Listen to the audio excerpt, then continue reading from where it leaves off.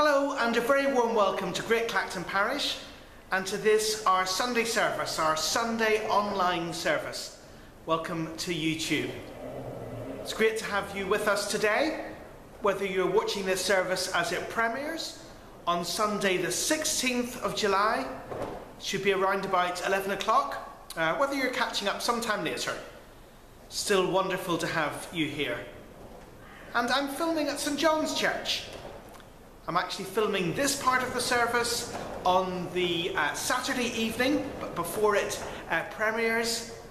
And we've had a day of weddings at St John's, very unusually. We've had two weddings here today.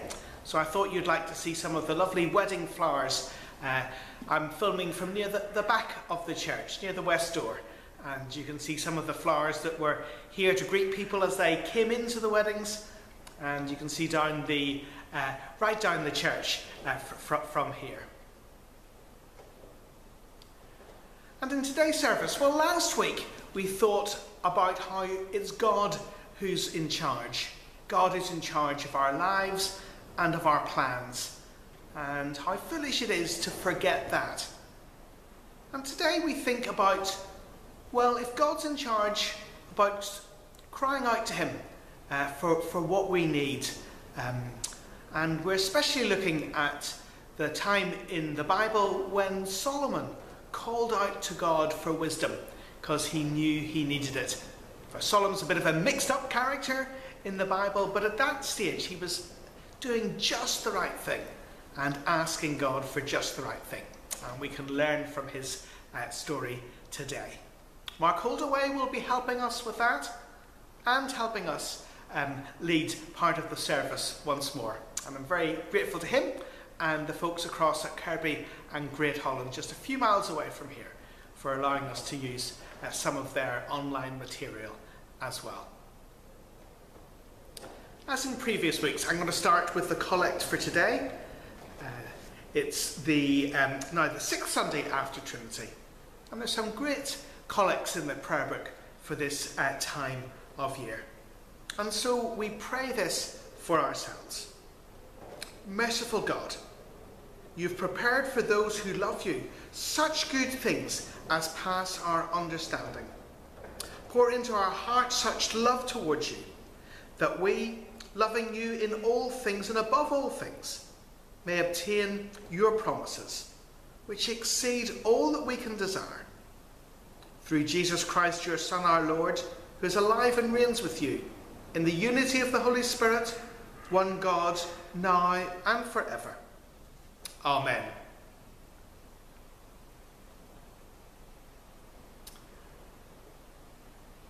Well, we're going to sing a great hymn as we start.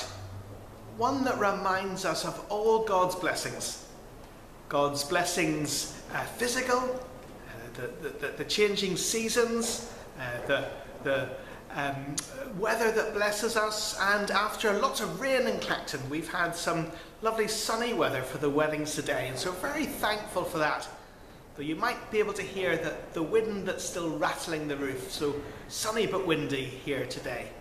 We thank God for all his blessings, his physical blessings, but his spiritual blessings as well. And in this hymn, we finish off by thanking him for his word, his word to us. Fill your hearts with joy and gladness. A great hymn of Timothy Dudley Smith, based on Psalm 147. Let's sing together as Rachel leads us. And then it will be over to Mark to lead us through the first part of our service.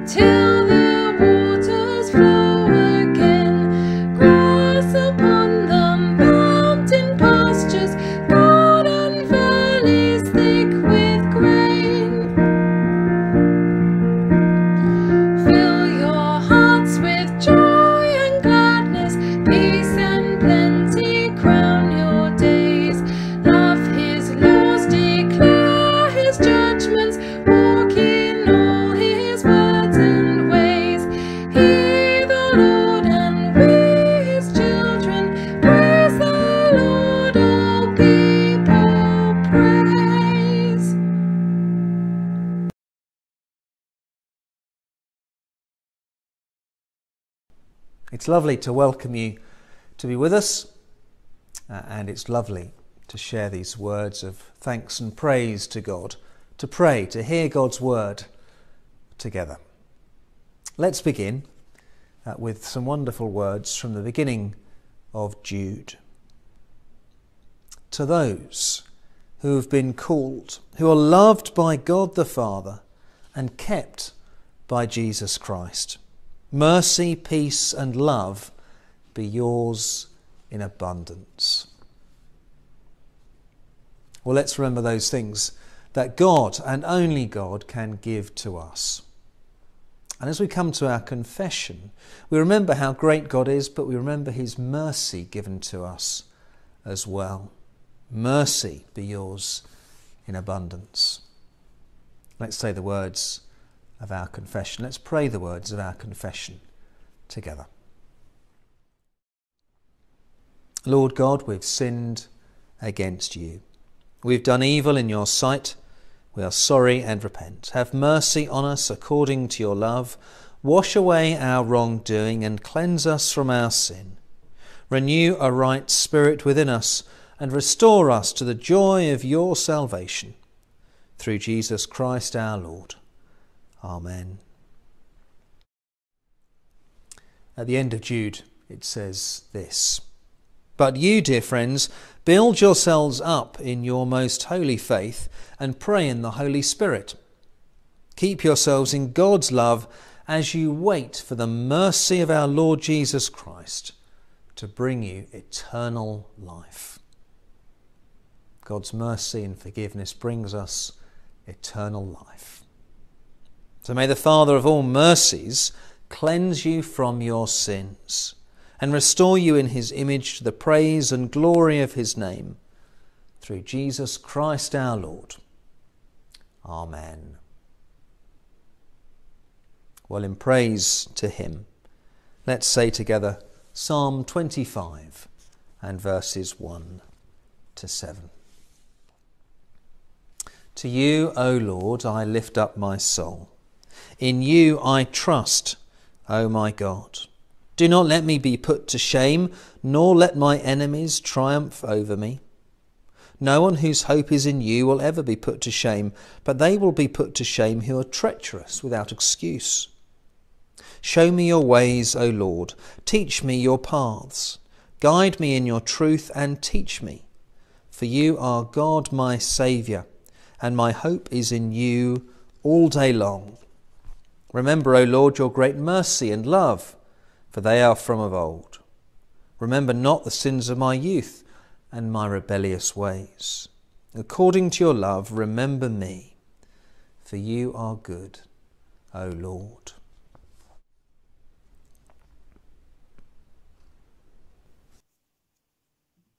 forgive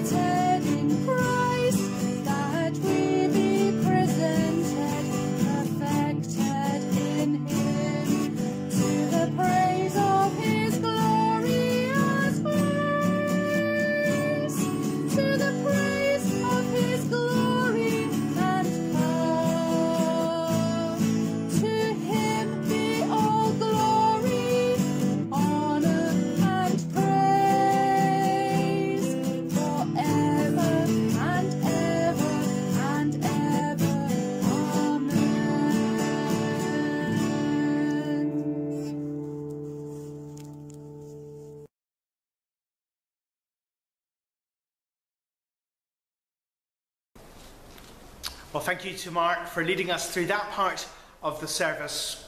He'll be coming back in a little while to uh, speak to us um, about uh, King Solomon. But before that, just let me pause and uh, say that we've got a new uh, newsletter out this week. It um, reminds us of all the different things coming up, and on the front page, it has uh, a reminder that our holiday club is just a week away, and so this is a week of setting up coming up for our holiday club. I'm just going to grab a poster for holiday club um, from our, our, our, notice board, and um, beside the sea is the theme this year. We'll be thinking of all the, that Jesus did around the Sea of Galilee as it tells us in Mark's Gospel uh, his teaching, his uh, miracles, uh, his uh, calling of his disciples, um, lots that happen just on the shore or on the lake, on the sea itself. Uh, we retell all those stories and um, show through them who the Lord Jesus is. And we're hoping to have lots of uh, children, lots of young people joining in uh, and uh, having great fun in this building, but also learning uh, about what the Bible says about Jesus. Holiday Club 2023. We're looking forward uh, to that and getting ready for it. And on the front page of our newsletter, it uh, suggests different ways that you could get uh, help with the, the setting up week for Holiday Club. So that's quite a lot of what's going on uh, this coming week in church. Um, just let me say some other things that are happening. Uh, if you're watching this as it premieres, it's not too late to come along to our afternoon out at Birch Hall Adventures, uh, just across outside Kirby. Um, that's from 12.30 today. And then lots of the, the last thing of the term coming up. It's our last little fishes on Monday, and that will be in the Vicarage Garden. Um, it's our last Tuesdays before the summer break. Um, on Tuesday, our lunch club. Uh, that's at 11.45 on Tuesday at St Mark's. Uh, do get in touch with the office if you'd like to book in for that. Should have mentioned our last Searchlights After School Club on Monday afternoon. It's the last Wednesday worshippers uh, before the summer break, 11 o'clock on Wednesday at St Mark's. Um, and then it's the last Thursday evening group at St Mark's on Thursday evening as well. A couple of other things to mention. It's uh, on, on Thursday morning, 11 o'clock at Weeley Crematorium in the garden, we'll be scattering the ashes of Clive Upton, a, a, wonderful member of our church family, known to many, who sadly passed away this time last year. And uh, as Clive didn't have any family that we know about to collect his ashes, we've decided a year later on to scatter his ashes at uh, in the lovely garden at Weeley Crem. So do join us if you want to at 11 o'clock on Thursday the 20th uh, of July for the scattering of Clive's ashes uh, at Weeley. Um, then on Friday, we're actually having our normal Sunday communion on Friday afternoon at 4 o'clock here in St John's, and that's so that people who've been helping setting up for Holiday Club after a week of setting up can join together to pray for the club and share communion together. Friday the 21st, 4 o'clock, here in St John's. And then Saturday morning, uh, 22nd, uh, the last way to help with the holiday club setting up is we're having a vicarage mowing morning to uh, get the grass in the vicarage garden into shape for the uh, holiday club the week after. And I think you really can hear the, the roof rattling here at St John's a little bit. So that's everything that's going on in the coming week. Lots of setting up and lots of last things uh, before the summer break. Well, we're going to hand uh, back over to Mark in just a couple of minutes' time. And um, he's going to talk to us about the time when Solomon, just after he became king, uh, asked for God's wisdom. He's going to read from the book of 1 Kings and uh, then point us, 1 Kings chapter 3, and then point us to that uh, incident and what we can learn from it. Just a short thought on that today. But to lead us there, and to remind us how Solomon fits into the whole big picture of the Old Testament. We've got once more the Bible journey in three and a half minutes, or the Old Testament Bible journey in three and a half minutes from the Bible Society. Just a slightly tongue in cheek look at the story of the Old Testament, but one that does help us to put things in the right order. So I do hope you enjoy that, and then uh, over to Mark to read and to help us to think about what happened to Solomon at that time.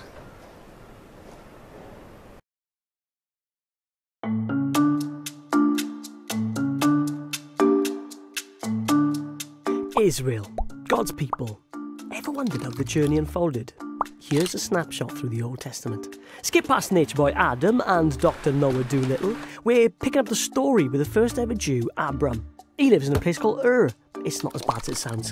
One day, Abe hears God, pack your bags and move to Haran. From Haran, he treks to Canaan, presses on to Egypt, and after all that, he goes back to Canaan, which also wasn't as bad as it sounds. Then God's people get settled in. Meet Joseph. He's a bit of a show off, struts around in his fancy robe and brags to his brothers that he's dad's favourite. Humble guy then. They beat him and sell him into slavery. Brotherly love. Joe ends up in Egypt and goes from prisoner to prime minister, rescues his fam from famine, and they all hug it out. But things don't stay cosy for long with Pharaoh by name, but not fair by nature. He makes some slave labour God's people want out. Enter Moses. As a chat with God through a burning bush, God gives Moses the mic. Let my people go! But Pharaoh's having none of it. Uh, no. So God centre parts the waters, and his people stroll the seabed to freedom. awesome. Next, there's talk of a purpose built place for God's people, but first comes a 40 year wait. The baton passes to Joshua, one of the 12 spies. They I spy promised land. God's people get settled in, split into 12 families, but they don't stay in touch or poke on Facebook until they're fed up again poked around. They want a king. Next up, Saul, a man's man. He gets the post but doesn't deliver on uniting the families. Enter new king, David. Warrior by day, singer of epic love songs to God by night. Dave gains ground and expands the land. Then, son Solomon, bit of a ladies' man, but he's a wise bloke too. Honestly, he'd run rings round Yoda. He continues what his old man started more land, but more wives and more questions too. Next, the crown was Rehoboam, who botches it up. Advisors tell him to go easy, so he raises taxes and chucks scorpions at people. As you do. If the tribe's a team, he loses the dressing room. God's people split. Ten up north, two south. A bit later, the northern lot get an offer from the Assyrians that they can't refuse. Then the Babylonians make a similar offer down south. Jerusalem's in rubble, they kick the king out and get shot at the temple. With Jews scattered and living out of suitcases, God decides it's time he gets his home back. He appoints Haggai and Zechariah as chief architects of the temple, Mark II. They go field of dreams on us. If we build it, they will come. And they smash it out of the park. Next, Bible boy Ezra and Nehemiah, king of Capcarian, build a well big wall round said temple so enemies think twice before invading. Nice work, boys. Time and again, men and women step up to answer the call for obedience. And it wasn't just the Jerusalem locals. Back in Persia, young Jewish girl Esther wins the next top queen competition and puts her life on the line to save her people. Well in, Est. Talk about the right place, the right time, eh? Though something tells me God had something to do with it. So there we are, journey of God's people in a really big nutshell. And the next 400 years, it's the Greeks and Romans who are trending. Romans even end up calling the shots in Jerusalem. People start asking, where's God? He answers through the obedience of a pregnant virgin and her carpenter fiance. Something tells me that story will forever change the course of history.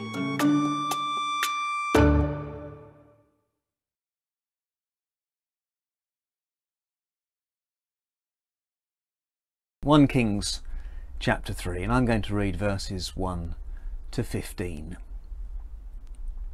Solomon made an alliance with Pharaoh, king of Egypt, and married his daughter. He brought her to the city of David until he finished building his palace and the temple of the Lord and the wall around Jerusalem. The people, however, were still sacrificing at the high places because a temple had not yet been built for the name of the Lord. Solomon showed his love for the Lord by walking according to the statutes of his father David, except that he offered sacrifices and burned incense on the high places. The king went to Gibeon to offer sacrifices, for that was the most important high place, and Solomon offered a thousand burnt offerings on that altar. At Gibeon the Lord appeared to Solomon during the night in a dream, and God said, Ask for whatever you want me to give you. Solomon answered, You have shown great kindness to your servant, my father David, because he was faithful to you and righteous and upright in heart. You have continued his great, this great kindness to him, and have given him a son to sit on his throne this very day. Now, O Lord my God, you've made your servant king in place of my father David, but I'm only a little child and do not know how to carry out my duties. Your servant is here among the people you've chosen, a great people, too numerous to count or number. So give your servant a discerning heart to govern your people, and to distinguish between right and wrong. For who is able to govern this great people of yours? The Lord was pleased that Solomon had asked for this. So God said to him, Since you've asked for this, and not for long life or wealth for yourself, but have asked for the death, or uh, and nor have asked for the death of your enemies, but for discernment and administering justice. I will do what you have asked. I'll give you a wise and discerning heart, so that there will never have been anyone like you, nor will there ever be. Moreover, I'll give you what you've not asked for, both riches and honour, so that in your lifetime you'll have no equal among kings. And if you walk in my ways and obey my statutes and commands, as David your father did, I'll give you a long life. Then Solomon awoke, and he realized it had been a dream. He returned to Jerusalem, stood before the ark of the Lord's covenant, and sacrificed burnt offerings and fellowship offerings. Then he gave a feast for all his court. These are the famous words, the chapter where Solomon asks for wisdom. But the chapter does begin in an ambiguous way. The opening verses 1 and 2 particularly are questionable as you go through the rest of the Bible. And we wonder which direction Solomon will take.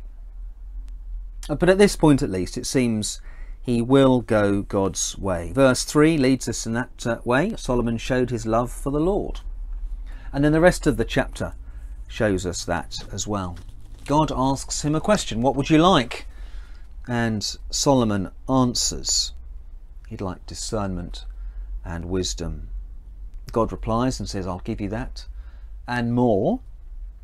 And then the second half of the chapter that we haven't read, we see an example of Solomon displaying his God given wisdom.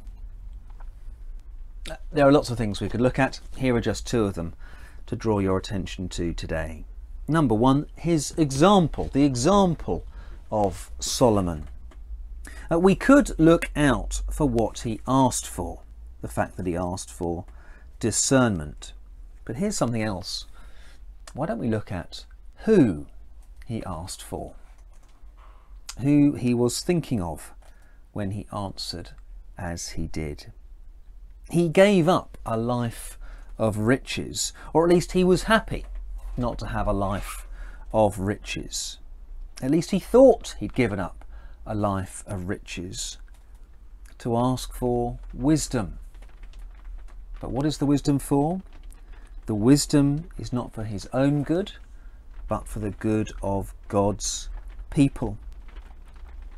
Your servant, verse 8, is here among the people you've chosen, a great people Verse 9 Give your servant a discerning heart to govern your people and to distinguish between right and wrong. For who is able to govern this great people of yours? Let me read you a quote. Solomon's example, of course, is that he put the good of God's people above his own good. And here's that is a wonderful example, and here's a quote Uh, for me to read.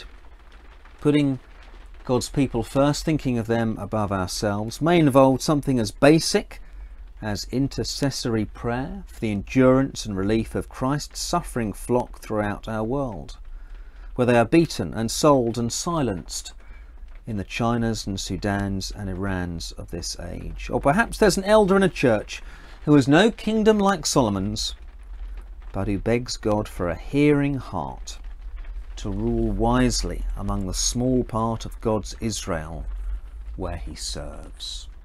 Well, let's move to our second point to remember from 1 Kings chapter 3. And this one is the one who is to come. The one who is to come. Solomon is a very wise king. Isaiah tells us that there is one to come who will also be a wise king, wiser still. And then Colossians chapter three, chapter 2 verse 3 tells us this.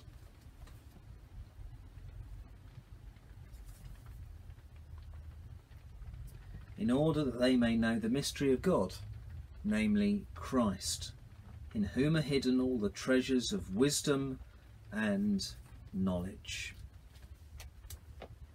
Solomon was the wisest king. Jesus is wiser still. That as our king, he will always do what is right and best for his people. Can you imagine what it would be like living under King Solomon? Well, it's even better living under King Jesus.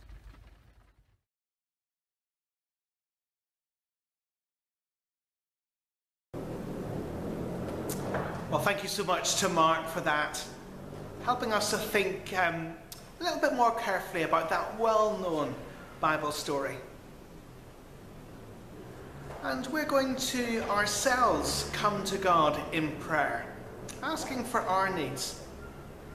First of all, we're going to do that in song as we sing Be Thou My Vision. Uh, Pam's going to lead us in that.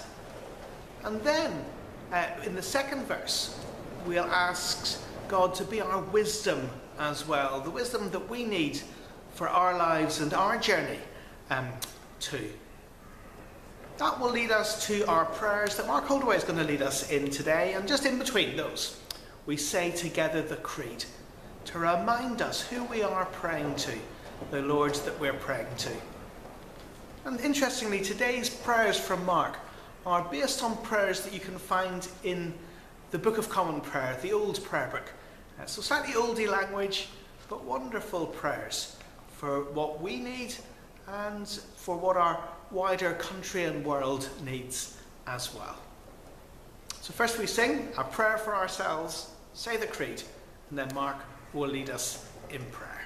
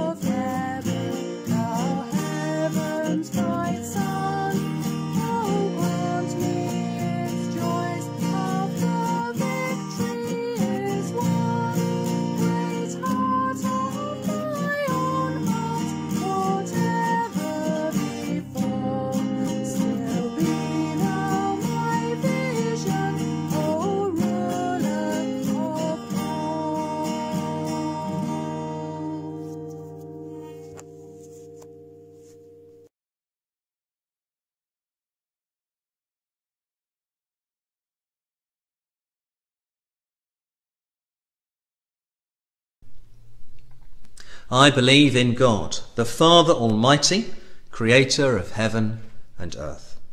I believe in Jesus Christ, his only Son, our Lord, who was conceived by the Holy Spirit, born of the Virgin Mary, suffered under Pontius Pilate, was crucified, died, and was buried. He descended to the dead. On the third day he rose again. He ascended into heaven. He is seated at the right hand of the Father, and he will come to judge the living and the dead. I believe in the Holy Spirit, the Holy Catholic Church, the communion of saints, the forgiveness of sins, the resurrection of the body, and the life everlasting. Amen.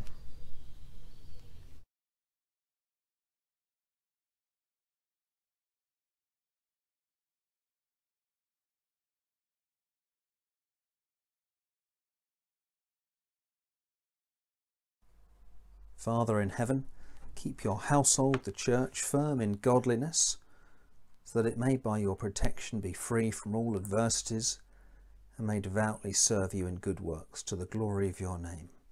Through Jesus Christ our Lord. Amen. And two prayers from the prayer book. Most gracious God, we humbly beseech thee, as for this kingdom in general, so especially for the High Court of Parliament, thou wouldst be pleased to direct and prosper all their consultations to the advancement of thy glory, that all things may be so ordered and settled by their endeavours upon the best and surest foundations, that peace and happiness, truth and justice, religion and piety may be established among us for all generations. These and all other needs, for them, for us, and thy whole church, we humbly beg. In the name and mediation of Jesus Christ, our most blessed Lord and Saviour. Amen. And, O God, the Creator and Preserver of all mankind, we humbly beseech Thee for all sorts and conditions of men, that Thou wouldst be pleased to make Thy ways known unto them, Thy saving health unto all nations. More especially we pray for the good estate of your church, it may be so guided and governed by thy good Spirit, that all who profess and call themselves Christians may be led into the way of truth and hold the faith in unity of spirit, in the bond of peace and in righteousness of life. Finally, we commend to thy fatherly goodness in all those who are in any way afflicted or distressed in mind, body, or estate, that it may please you to comfort and relieve them according to their needs, giving them patience under their sufferings and a resolution of all their afflictions. And this we beg for Jesus Christ's sake. Amen.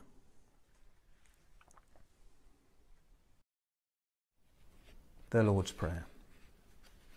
Our Father in heaven, hallowed be your name, your kingdom come, your will be done, on earth as in heaven. Give us today our daily bread. Forgive us our sins as we forgive those who sin against us. Lead us not into temptation, but deliver us from evil. For the kingdom, the power, and the glory are yours, now and forever. Amen.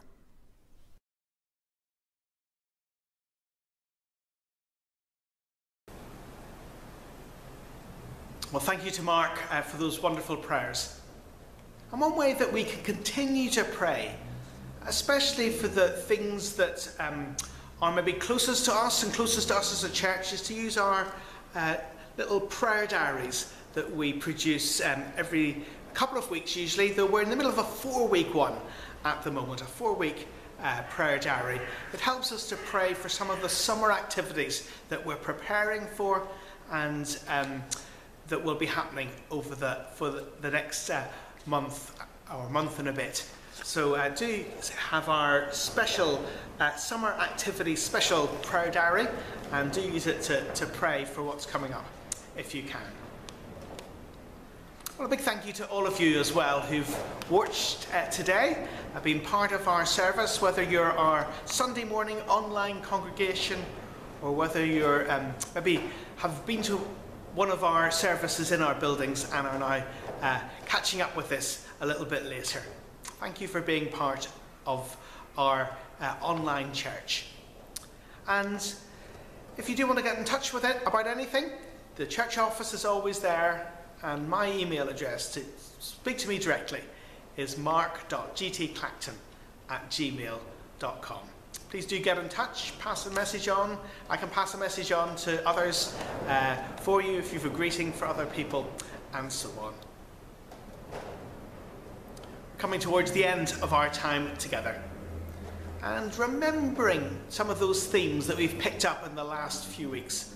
How God is in charge of everything, including our lives, uh, and how we call out to Him for what we need uh, most of all.